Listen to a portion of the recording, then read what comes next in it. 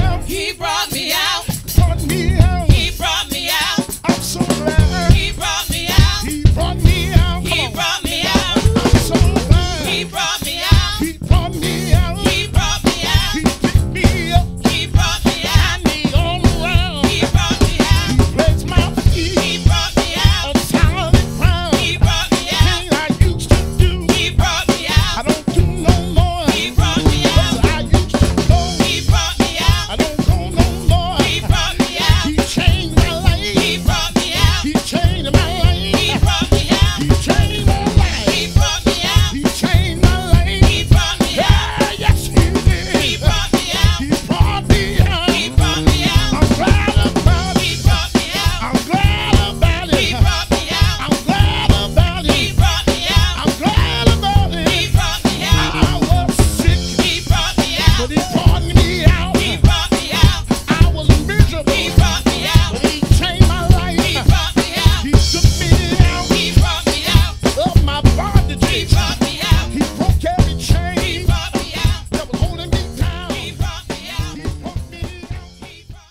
Sunday morning is a song of inspiration to uplift your spirits, written by the Hunters.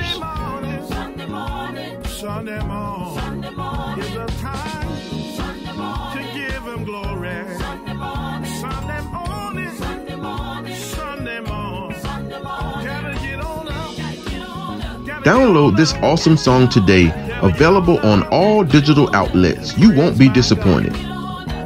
We also encourage you to subscribe to our YouTube channel 100 with the Hunters and be sure to hit that bell to get all of our notifications. 100 with the Hunters on YouTube. Before You Call Me Sis, A Term of Endearment by Apostle Laquilla Hunter is a thought provoking book that challenges us to understand the true meaning of sisterhood. Some women are so used to using the term sis or sister that it is used loosely. They don't take into consideration the definition of this word as a term of endearment. Many people have been slandered, broken, and destroyed by the same women who call themselves sisters. This book is a great read and it will empower and educate the reader on what true sisterhood should look like. It will also help them to evaluate current relationships to ensure they are healthy, promoting advancement, and are mutually beneficial. Purchase your copy today on our website www.hpmusicandarts.com.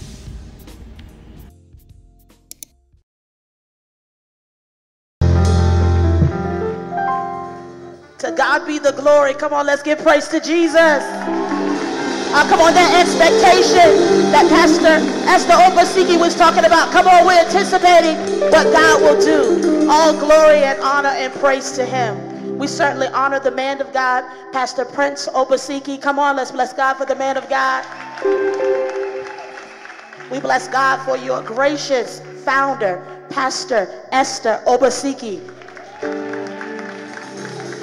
We celebrate the queens of Esther. Come on. Oh, come on, that's you. Come on, the royal daughters of God. Hallelujah. Amen. I certainly celebrate my husband, Bishop Ernest E. Hunter. God is good. My husband, God bless you. Amen. Honored to be here. You may be seated in the presence of the Lord. We're excited about this gathering. We're excited about this time. We're excited about what God is saying and what He is doing. Amen. Uh, beautiful country. We have enjoyed ourselves so far. Let's give it up for your protocol. Amazing women and men of God. Hallelujah. As we hasten unto the word, we're going to look in the book of Genesis. For Genesis begins to deal with the blessing, the first blessing that we see that God bestows upon his people. Genesis chapter 12. And we're going to look at verse 1 through 3. What a powerful theme obtaining, coming into the covenant blessings of God. Genesis 12, 1 through 3. Now the Lord had said unto Abram, Get thee out of thy country, and from thy kindreds, and from thy father's house, unto a land that I will show thee, and I will make thee a great nation, and I will bless thee, and I will make thy name great, and thou shalt be a blessing. And I will bless them that bless thee, and I will curse him that curseth thee. And in thee shall all the families of the earth be blessed. Father, we thank you that we are blessed in the city, we're blessed in the field. We thank you that we are the head and not the tail. We thank you that fresh fire will fall tonight. We thank you that signs, miracles, and wonders will take place. We thank you, oh Father, that we've gathered for you, God, to thrust us into new dimensions. We thank you for fresh revelation. We thank you, oh God, for abundance of blessings. We thank you, oh God, for your fresh power. And Father, you get all the glory, you get all the praise, and you get all the honor. In Jesus' name. Come on, let's give him praise. If we would, we would use for a subject on this afternoon as I was fasting and praying. I've been fasting and praying since the invitation. And the Lord began to talk to me. He said, Tell the woman of God that you're too blessed to be stressed. oh, come on. You're too blessed to be stressed. And so he's going to talk to us about lifting the stress off of our life. What does what does stress mean? It means to experience mental or emotional strain, attention. The word blessed means to be endowed with power and favor and protection. And when I began to look at the staggering numbers of women who deal with stress, it says one out of four women deal with stress. I don't know about you. Stress sometimes can be uh, overwhelming. It can be perplexed. Anxiety can overtake you because you're worrying about what is going to be on the other side or how provision will come. Or if you're like me, what I'm going to wear. Stress comes in all forms. Stress, am I going to be able to raise my children? Stress, will I be a good wife? Stress, will my daughter be able to be the woman of God that God called her to be? And sometimes the stress just to make ends meet, the stress just to make sure that I'm operating and walking in the integrity of God. Life can get the best of you. Uh, uh it can make you not be able to sleep and be fatigued, and, and your hair is falling out, and the enemy comes in like a flood. But the Bible says that that the word of God will lift up a standard against him. The Bible says that the enemy comes to kill, steal, and destroy. But God said, I come that you might have life and have it more abundantly. You're too blessed to be stressed. Stress comes to overwhelm you. Stress comes to, to look to block the power of God from moving in your life. But somebody say, I'm too blessed to be stressed.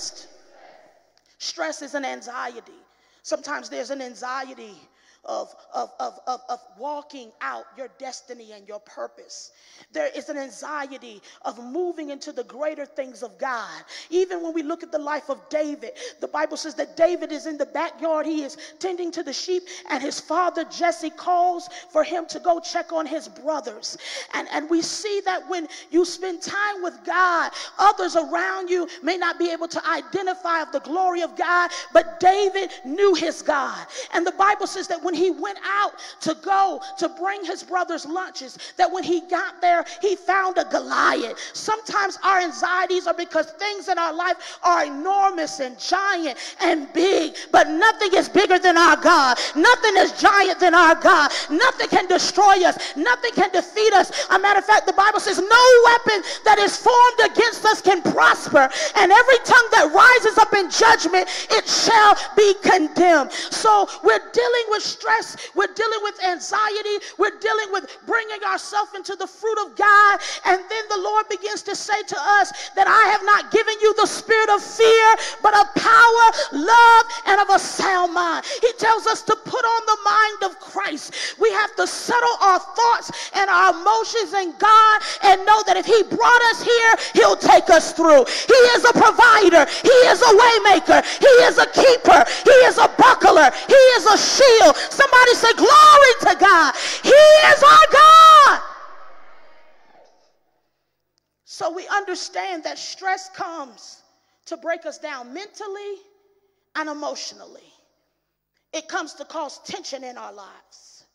But when you're blessed, when you understand that the favor of God is upon your life, when you understand that you're the apple of God's eye, when you understand that He has called you for such a time as this, and you start operating in the generational blessings. So we find ourselves here in Genesis and we're dealing with Abraham. The Bible says that Abraham comes from an idolatry family. Woo! The first thing when God is going to bless us, we have to make the decision to walk away from any idols to walk away from anything that will take our attention from God, take our attention from His purpose, take our attention from His righteousness, take our attention from His power. And so the Bible begins to say that God speaks to Abraham and He says, I'm getting ready to bless you. I'm about to overtake you. I'm about to make you fruitful. I'm about to put you in the place of abundance. I'm about to put you in the place of plenty. But the first thing you're going to have to do is leave your father's house. Uh, the first point I want to make is whenever God is going to thrust you into a place of abundance, thrust you into a place of authority, thrust you into a place of growth, you must be willing to walk away from anything that wants to take your attention from God, anything that wants to distract you from your word, anything that wants to separate you from the love of Christ. The Lord begins to say to Abraham, You're going to have to leave your father's house. You know, sometimes we have to leave a place, look at this, that will that will cause us to be tempted that will cause us to be stagnated, that will cause us to stumble. Have you ever been in a surrounding of people who spoke Jesus but didn't have the attributes of Jesus, who talked like they walked with Jesus but they lacked the fruit of the Spirit? He told Abraham, You're going to have to get out of your father's house. If you're going to be blessed, you're going to have to let go of the traditions of your fathers, the ways of your fathers, the idolatry of your fathers, the, look, look, look, look, look, the burdens of your father. You're going to have to pull yourself out of this place. He says, get away from your father, get away from the familiar, get away from what you're comfortable for. Anybody ready to go to a place that you've never been before? Anybody ready to do something you've never done before? Anybody ready to walk in a territory that you've never seen? because God is saying, I'm giving the daughters of Queen Esther generational blessings. I'm taking them into promise. I'm taking them into greatness. I'm taking them into overflow. I'm going to cause them to rule. Somebody give God glory and say, I'm born to rule. He tells them, You're going to have to come from out of your father's house. Come out of that country. Come out of that territory. Somebody say, Revelate me. Sometimes you can be occupying a place that you're too big for. And God wants to stretch you to another place. And in order to go there, you have to leave the familiar. You have to leave the comfortable. You have to leave the, the, the, the, norm. You have to take up the extraordinary, the, the extraordinary and leave the ordinary. He says, You're going to have to get out of this country. You're going to have to get out this territory. You're going to have to get out of your father's house. You're going to have to get away from anything that's going to stop you from believing what I have for you because I'm about to test you. He is testing to see here to see if he's willing to leave anything. Is there anybody in this room that you'll leave anything for Jesus. That you'll, you'll say what he wants you to say. You'll do what he wants you to do. Oh, come on now. Open up your mouth. He'll, you'll go where he tells you to go. You'll pray when he tells you to pray. You'll fast when he tells you to fast. You'll give when you, he tells you to give. Abraham, I want to know, can I trust you? Can I trust you to be faithful? Can I trust you to be bold? Can I trust you to be a courageous? Can I trust you to follow my instructions? Sometimes the hardest thing for us to do is the following instructions. Have you ever given somebody something to do and you say, look, whatever you do, don't do this. And they go and do exactly what you tell them not to do. And this hour following the instructions is so important. So he tells Abraham, get from your father's house. Get from the countrymen. Get from what you are familiar with. I'm testing you to see will you be willing to leave all for me and he makes him some promises. He says, Abraham, if you do this, I'm going to do something for you. God will never ask you to walk away from everything and not be willing to give you everything. God will never have you forsake something and not be willing to exchange something better for what you've left. Have you ever left anything? Has God ever failed you? Has he ever disappointed you? He is a waymaker. He comes in and everything that you're willing to give up, he's willing to give you better. Just ask Job. Job got double for his trouble. The Bible says that his latter was greater than his beginning. Anybody believe that your latter is going to be greater than your beginning? He leaves that place and God makes him some promises. He says, The first thing I'm going to do for you, I'm going to make you a nation. I'm going to put you over some territory. I'm going to give you a place of authority. I'm going to give you a place where you can rule and you can reign.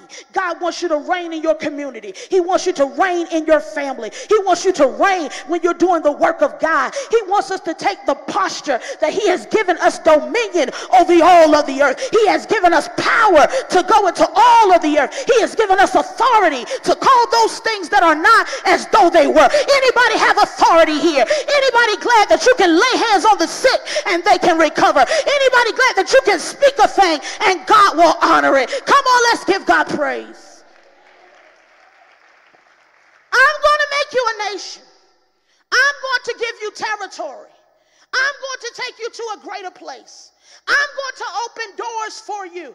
He says, I'm going to show you a land that you have not seen. So, God, you want me to follow you even though I don't see where I'm going. Faith is the substance of things hoped for, the evidence of things not seen. If we're going to get what God has for us, we have to have blind faith that I'm walking, but He's going to bless me. I'm walking, but He's going to restore me. I'm walking, but He's going to open up the gate. I'm walking, but He's going to cause me to be fruitful. I'm walking, He's going to cause me to multiply. And even though I don't see anything, it as if it has already happened. I've learned to walk as God has already done it. I'm trusting in the Lord with all of my heart, not leaning to my own understanding. I'm acknowledging Him, and He's directing me into a fruitful place. Woo! I'm acknowledging Him, and He's He's He's directed me into abundant place. Abraham, I'm showing you as you walk, you'll see your Canaan. You'll see your territory. You'll see your place of wealth. You'll see your place of abundance. You'll see your purpose. The Bible says that he promises him, I'm going to make you a nation. Can I speak to you? There's a nation inside of us. There's a world waiting for us. There's a people waiting for us. There's a lost world waiting for us. There's somebody strung out on drugs waiting for us. There's somebody wayward waiting for us. There's somebody that does not know Jesus that's waiting for us. Anybody, any Jesus people in here that you're looking for somebody to tell them God is a savior, a keeper, a waymaker. God is saying there's a nation inside of you, and it's your job to take it to them, to preach it to them, to preach it to them, to share it with them, to fast with them, to pray with them, because He's calling us into a place of abundance and into the duration of blessing. And many people don't know that they're blessed. Many people don't know that God is for them. Many people don't know that He's died for their sins. But tell your neighbor, I have a revelation. There's a nation inside of me. There's a world waiting, and I want to do the will of God. Abraham! You're going to have to leave everything you know. And as you walk and go, your faith is going to guide you into new territory. Not only am I going to make you a nation, he begins to say, I'm going to bless you. Woo! so I heard the Lord say, He says, What I'm about to place on you will be undeniable.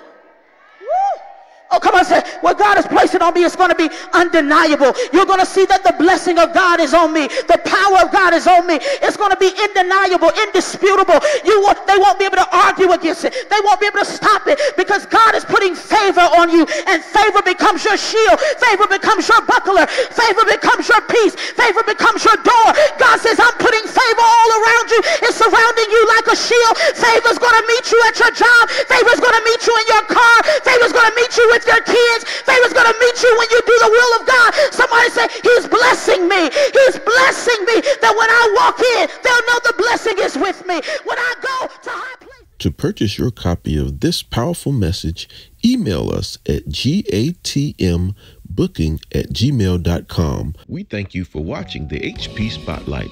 If this broadcast has been a blessing to you, we invite you to write us a letter or send a donation. If you're writing a letter, you can send it to P.O. Box 533, Windsor, Virginia 23487, or you can make a donation via Cash App at dollar sign HP Music and Arts, or via PayPal at hpmusicandarts at gmail.com or via our website, www.hpmusicandarts.com. Or you can also mail that donation to P.O. Box 533, Windsor, Virginia 23487. If you're an artist, author, or entrepreneur and would like to be featured on the HP Spotlight, you can also email us at hpmusicandarts at gmail.com. Again, we thank you for tuning in and we will see you next week.